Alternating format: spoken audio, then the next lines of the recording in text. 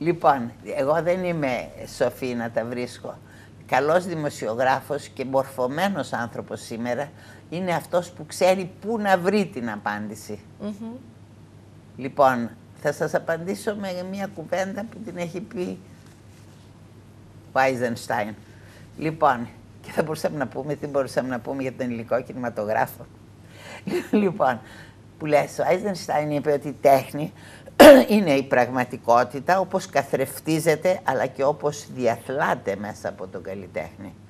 Δηλαδή, εγώ δεν πιστεύω στην, ε, πώς το λένε αυτό, στην πνευματική ιδιοκτησία καθόλου.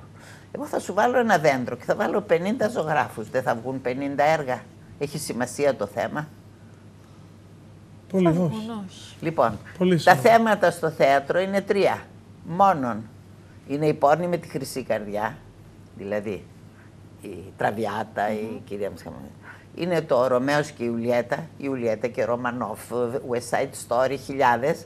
Και ιδίως αυτό που εκμεταλλεύτηκαν μάλιστα στον ελληνικό κινηματογράφο και στην Αλίκη παραπάνω από οτιδήποτε άλλο, είναι το ασχημό παπό του Άντερσεν. Δηλαδή από άσχημος, από ασήμαντος βαρκάρης γίνεσαι ότι είναι ορόσι και τραγουδάς ή γίνεσαι μια σπουδαία ή οτιδήποτε. Και έλεγε και ο Μαρσέλα Σάρ, βρήκα ένα υπέροχο θέμα, παιδιά μου, τι υπέροχο, λέει ένας άντρας αγαπάει μια γυναίκα.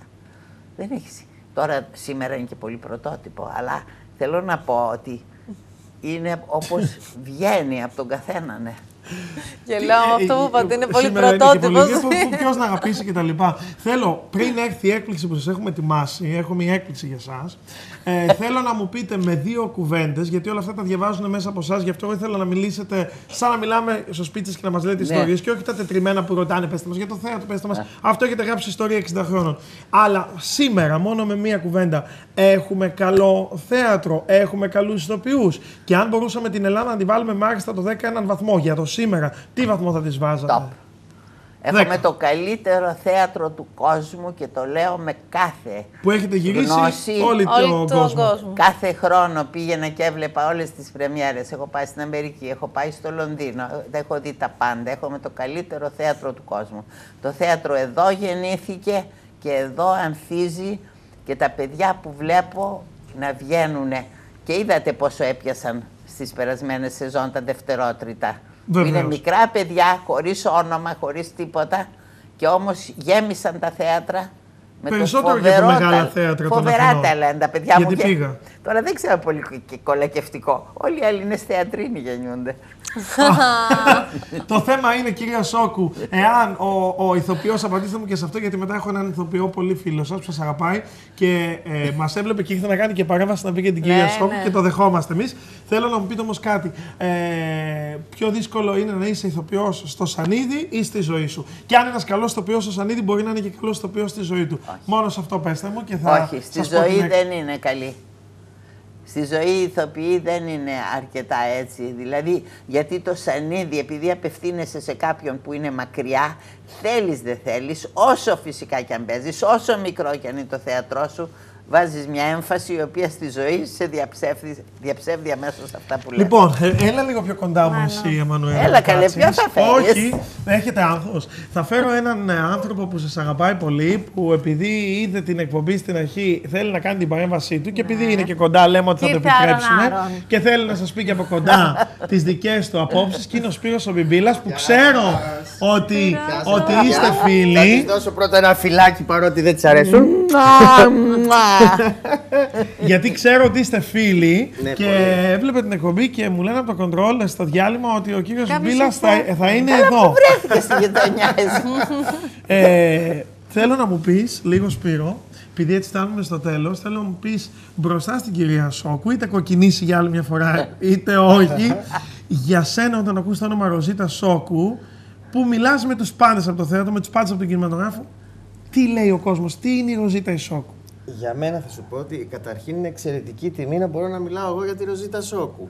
Και ε, πιο εξαιρετική τιμή είναι ότι, ότι ένας άνθρωπος που μου έγραψε από τις πρώτες πρώτες κριτικές, εκείνη μπορεί να μην το θυμάται, όταν ήμασταν και 20 και 22 χρονών που είχαμε μια νεανική ομάδα και ερχόταν και μας έβλεπε σε όλες μας τις παραστάσεις, στο ασκητικό θέατρο, αν το θυμάστε, μου έγραφε καταπληκτικές κριτικές που να ξέρω ότι τόσα χρόνια μετά θα γινόμουν τόσο πολύ φίλος της, θα μου ήταν τόσο πολύ απαραίτητη στη ζωή μου. Δηλαδή, αν κάποια Κυριακή με αυτά τα περίφημα τραπέζια με όλους αυτούς τους πνευματικού. Κάθε Κυριακή κάνει τραπέζι όμως. Ναι, αυτό είναι μια άλλη Αυτό της είναι- ιδιότητα. είναι- Αυτό Ε, δεν το είπα. αυτό Κάθε δεν το Κυριακή για ήξερα πολλά εγώ. χρόνια. Κάθε Ναι. Κυριακή. Ναι, κυρία Όπου Ζωρζίτα. μαζεύεται πολύς θεατρικός κόσμος και πνευματικοί άνθρωποι και την ακούμε όλοι με ανοιχτό το στόμα.